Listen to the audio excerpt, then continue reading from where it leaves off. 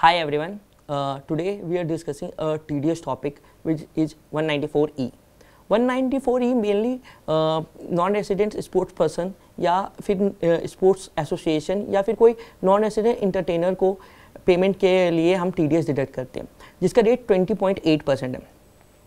uh, if any payment made to any uh, non-resident sports person who will participate in uh, any game in India or advertisement in India or any uh, article published in India uh, in which he, uh, he or she will earn income, then the payer will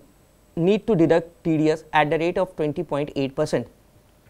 अगर कोई भी sports association को भी, जो non resident है, उसको भी अगर कोई गारंटी इनकम मिलता है, जैसे कि अगर आईसीसी को कोई बीसीसीआई पेमेंट करती है, जो आईसीसी नॉन रेसिडेंट है, अगर उस पर भी टीडीएस पेमेंट होता है तो भी 20.8 परसेंट का टीडीएस डिडक्ट करना होता है।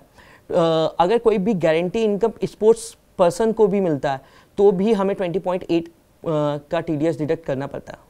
Thank you